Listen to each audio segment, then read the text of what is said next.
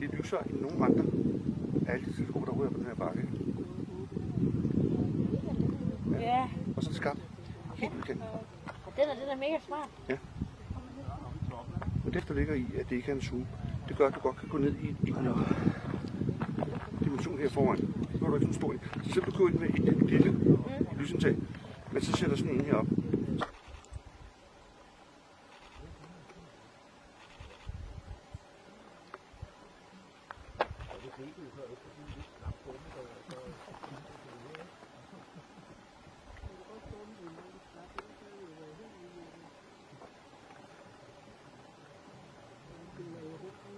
Og hvad er det for en selvfølgelig de står?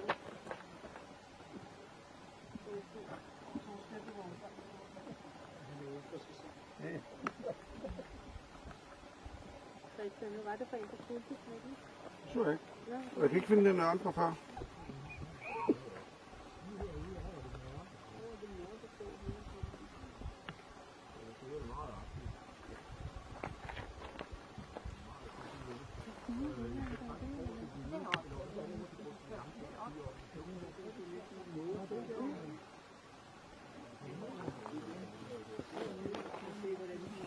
Er det derinde? Hernede, der har man det, der hedder et rabinat. Det er sådan en samling af